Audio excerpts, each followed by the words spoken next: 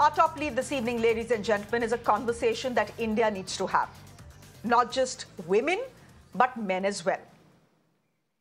Have you screened yourself for cervical cancer? If you haven't, do it now. It's a gendered disease that impacts women, and more importantly, it is entirely preventable. Why am I talking about it today? Two reasons. The woman on your screens is the first reason. This is Poonam Pandey, the 33 year old actor whose death is currently a big, big talking point on social media. Her social media team today posted the news of her death on her official Instagram handle and said that Poonam has passed away in Kanpur because of cervical cancer. Post that post, there has been no word from them. Now, there are many people on social media who say that the news of Poonam Pandey's death is simply a publicity stunt. We don't know what the truth is. Our reporter in Kanpur, where she supposedly died, tells us that her family doesn't live in Kanpur anymore. They are all incommunicado in any case. There has been no funeral so far either. Then there is this video from three days ago this is again posted on Poonam Pandey's Instagram handle where she's seen partying in Goa. This is four days ago actually. Her bodyguard in fact has been quoted as saying that she was shooting till two days ago and was fine when he met her. So as I said, I don't know if Poonam Pandey has indeed passed away because of cervical cancer. If she has, it's very unfortunate. She was just 33 years old. If she hasn't, well, there's a huge ethical debate that will follow. But at least for now, the headline has got news channels talking about cervical cancer. As I said, this is a conversation India needs to have. Cervical cancer is the second most common cancer amongst women. 95% of it is sexually transmitted. 93% of it, ladies and gentlemen, is preventable. All you need to do is get yourself vaccinated. There are three types of HPV vaccines available, and depending on which one you take, you can take it from age 9 to 45. Of course, the best age to take it is between 9 to 14 before the onset of sexual activity. Which brings me to the second reason why I'm talking about cervical cancer this evening. Yesterday, Nirmala Sitharaman, in her interim budget speech, made a special mention of it, saying that the government is trying to get all young girls in the country immunized for cervical cancer. Listening. Our government will encourage vaccination for girls in the age group of 9 to 14 years for prevention of cervical cancer. My guest this evening, Dr. Amit Kamar, is uh, an oncology expert joining us on the broadcast. Dr. Trupti Gilada is an infectious physician. Uh, uh, as she's joining us on the broadcast as well from Mumbai. Thank you, thank you so much, Dr. Gilada and Dr. Kumar, for joining us this evening. Dr. Gilada, I'm coming to you first as someone who treats many people uh, who come to you with cervical cancer. Look, again, as I, I've been telling our viewers, I don't know what the truth about Poonam Pandey's death is. Her PR team is saying she has died in Kanpur. There are enough and more netizens saying we don't believe it. But I just want you to look at Poonam Pandey's age profile. She was 33 years old. By the looks of it, she was fit. Is 33 the age where you expect someone with cervical cancer to pass away? Uh, this is not based on whether the news is correct or not. I'm just trying to get the age profile of the disease here. Cervical cancer is definitely seen uh, between the ages of 29 to 45 and even up to 60 more commonly. So yes, it's very unfortunate that we see someone with a cancer that early, but uh, it's an age that we are seeing cancers at that age, especially with improved screening uh, and with more awareness, we are picking up cancers at an early age. Hmm, so, okay. So you're saying between 36 to 44 is when you see the most number of cases, Dr. Gilada? And therefore the most number of deaths as well? So um, we need to understand that cervical cancer is caused by HPV infection. And even though the infection is acquired a decade earlier or even 15 years earlier, it does often take that much time for the entire process from an infection to an inflammation to a cancer. And therefore, even though if the virus is acquired earlier, we often see it after 35 years of age. But of course, we do see cancers even at an early age, and therefore, even the cancer screening guidelines do recommend that we start cancer screening at around 29 to 30 years of age. Okay. Dr. Amit Kumar, you know, uh, the general belief is the government of India has spoken about immunization uh, uh, for cervical cancer yesterday. The, the, the, the, finance minister of the country has said that we'll try and get all young girls between the age groups of 9 to 14 immunized. I want to ask you, what about someone who's 30? What about someone who's 40? Will, I understand there are different kinds of vaccines available, do vaccines give protection slash immunity to older women as well or are they just effective uh, before the onset of sexual activity or in young girls? So the idea behind the vaccination is to prevent the infection or get rid of infection if they have already acquired it. It is just to build the immunity. And we understand the principle of vaccine is nothing but your own immune generation or immune cells against the virus so most of the time we get acquired of all these infections, and by the age of approximately 30, most of us get rid of these uh, viruses. But few of them, uh, the viruses are not able to get cleared from the body, and then they tend to develop cancer, and that is where the bracket lies. But they, but the people or these uh, kids, they have a very strong immune system, and between the age of 9 to 14, they are very very highly immunogenic in terms of developing uh, uh, vaccine responses. And that is why they are trying to recommend. And this, it is practically before the sexual activity is initiated, they are recommending. And I think eventually everybody is going to get vaccinated by the age 45, what we normally recommend. And there is nothing that we are stopping hmm. anybody to get vaccinated. Even post exposure, there are data suggests that vaccine can prevent or get rid of the infection and can prevent the several cancers in already infected cases also.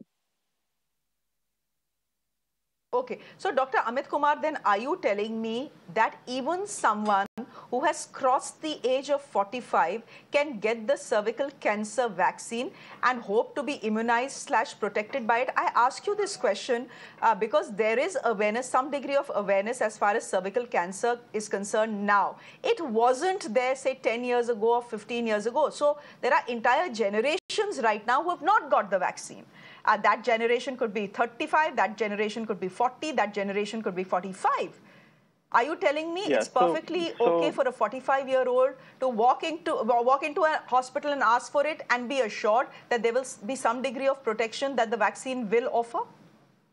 Yes, the answer is yes. Earlier we were trying to promote that the cancer vaccine is given between the age of 14 to 29 or 30. Now we have extended the age to 45. Mm. And the idea is nothing but to just generate the immune cells against the viruses.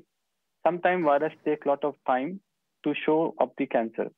So earlier is the better, but late is never a big no.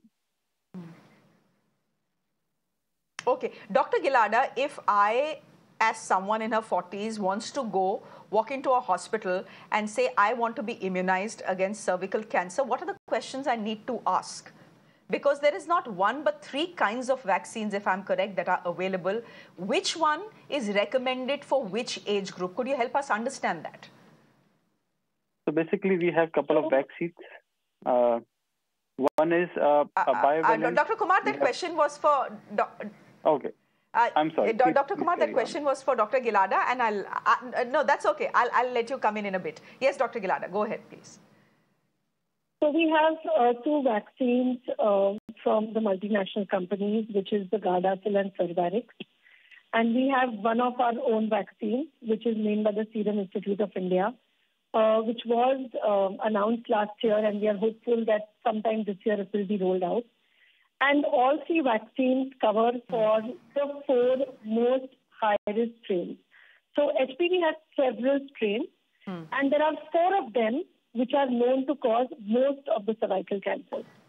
Now, all these three vaccines hmm. do protect from these four most high-risk strains. So uh, there isn't, uh, they're all fine. All three of them are fine. Uh, a lot of it will be on the cost of the vaccine. And therefore, we are so eagerly waiting for the Serum mm. Institute of India vaccine because, of course, it will be priced much lower than the uh, uh, vaccines mm. from abroad. Uh, talking about the age, uh, two of these vaccines um, have been approved until the age of 26, and uh, Gardasil is approved even for beyond until the age of 45. Uh, we wait to see what the guidelines will be for our uh, Serum Institute India vaccine. Uh, but what's also important to understand, we're only talking about vaccination for women. Now, HPV is actually a virus which is sexually transmitted.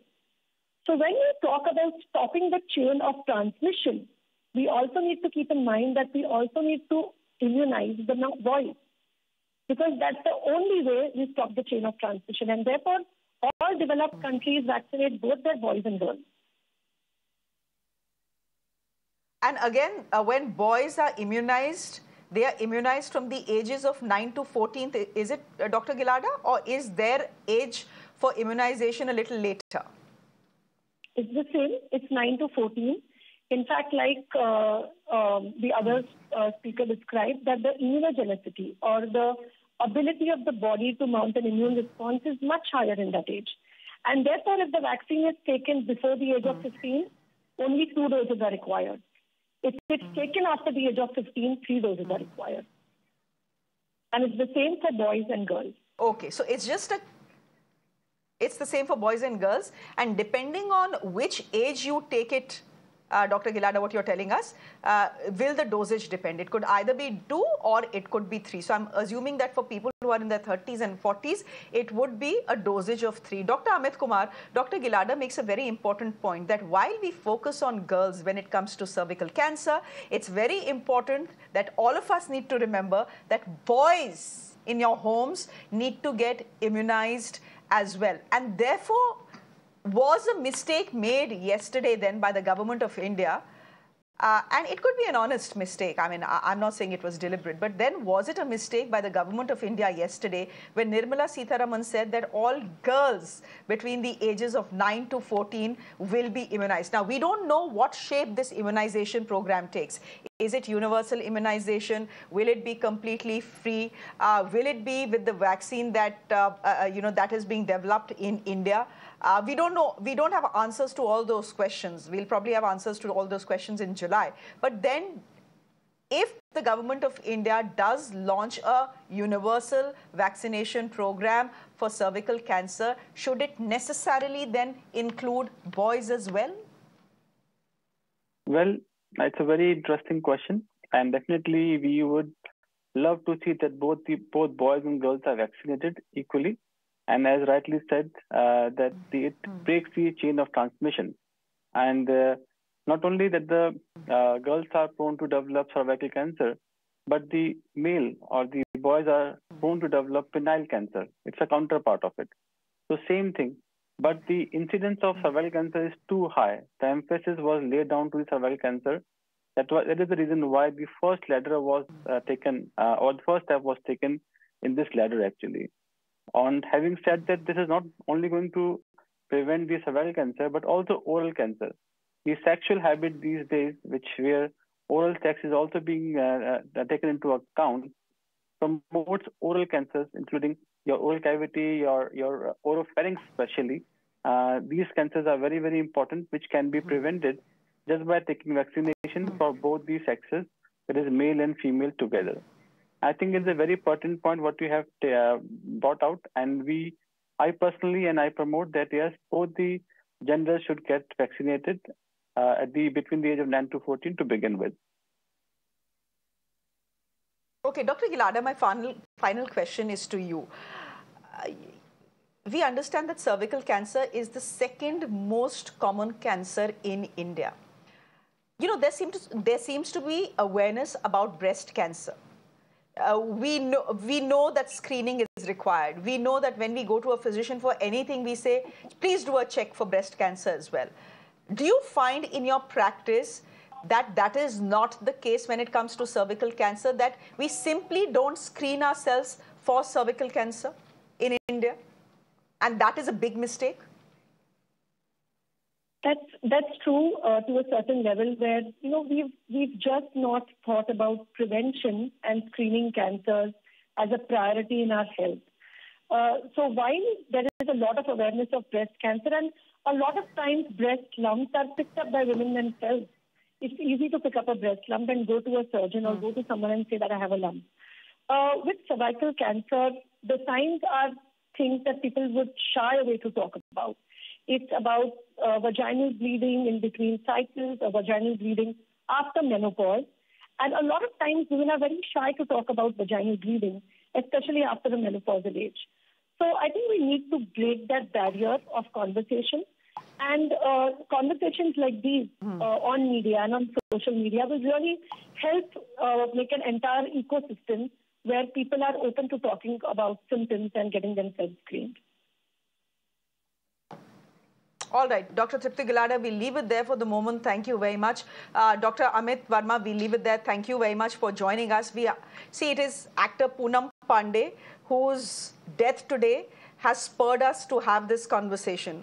Again, there are many question marks about whether Poonam Pandey has actually died, whether this is a publicity stunt. Uh, there are many netizens asking, where is the funeral, where is the body, etc., etc. I simply don't know the truth, dear viewers. I simply don't know the truth. Uh, we've tried to find out. People in her team are not speaking. There are no relatives who are willing to speak, so we don't know what the truth is. One thing we know. The truth is that cervical cancer is something that needs to be screened. It's very important. The truth also is that if you have a girl at home or a boy at home between the ages of 9 to 14, 9 to 26, please go and get them vaccinated against cervical cancer. Don't wait for the government of India to do it. If you have the money on your own, please go to a hospital and do it. The government says it is going to start an immunization program in any case soon. We leave it there for the moment. Dr. Gilada, Dr. Verma, thank you very much for joining us. Uh, with that, I'm shifting our focus now to the big political story uh, that has been playing out in the national capital. That's in just a bit, a quick break.